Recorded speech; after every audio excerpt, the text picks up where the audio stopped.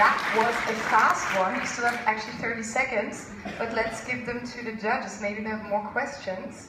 How many do you need to do manually? So what are the false positives uh, of your crawler for the, for the pictures? We're still working on the web technology. In terms of false positives, we, we can do exact matches on photographs right now, and we're, that technology is scalable to any other media type.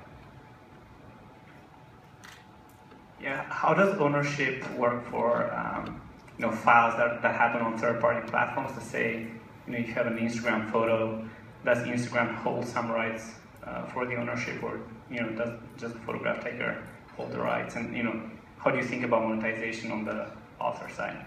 So there's there's two ways to think about what you just asked about. Number one is how do we access the digital content, and the other one is the monetization aspect. And the access is currently we have a web app where people who have a pain point right now can upload their work.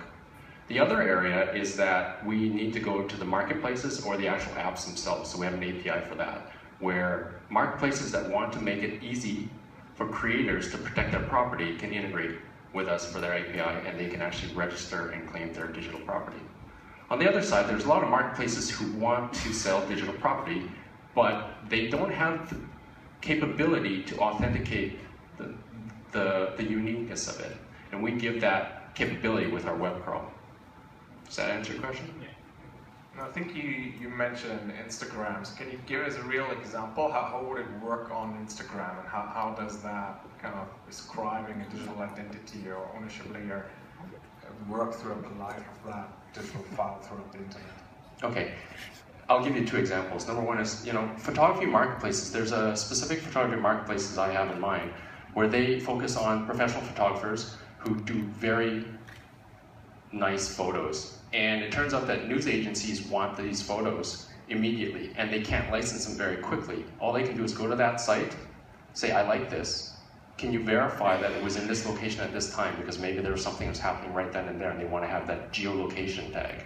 But then once they figure that out, they want to be able to get the licensing from that photographer, and that's not possible today. So that's a marketplace use case. A second use case is that you know digital artists they currently sell art for in the range of 10 to 50,000 for a limited edition. This is video art, just a video file. And up until now, there hasn't been a way for them to sell that and for galleries and the whole ecosystem to trust each other, except now via ascribe. Uh, are you using uh, blockchain technology or those kind of thing? Because like uh, everybody's talking about decentralized trust organization, and, uh, and you didn't mention it here, so I was wondering. We're starting with blockchain, but when we roll on our first B2B customer, we'll break the blockchain if we continue using it. So we have a different technology lined up. So you're the trust, you're the, the unique point of trust, the third party that proves that some people own the rights we never want to be in the way.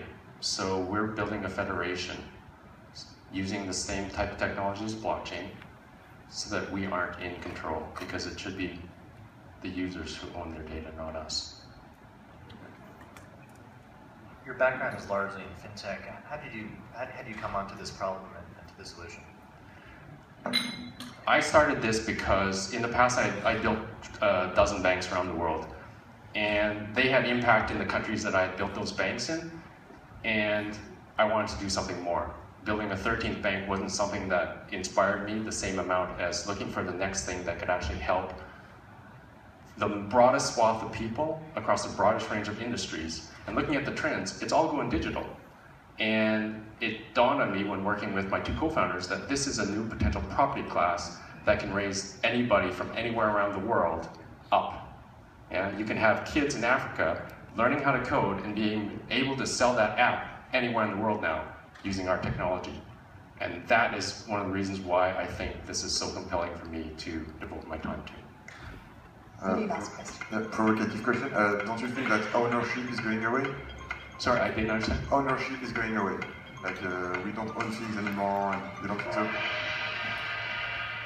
Beatles music collection right now is worth two billion. It originally was worth 50 million. Somebody's going to bid 2 billion for the rights on that one. Okay, before you run off stage, thanks for the questions. there is a question which got upvoted a fair amount of times. How do you compete with Creative Commons? Well, this is interesting because we're probably going to be cooperating with them in the very next few months.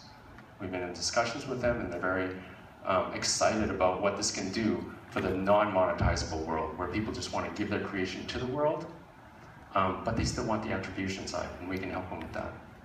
Okay, that was a clear answer. Thank you very much. Let's have a look. So nearly half the people in the room love your idea. They say good idea. Oh no, actually, good idea, but they see a little more challenges. But 29% actually, oh, it's growing.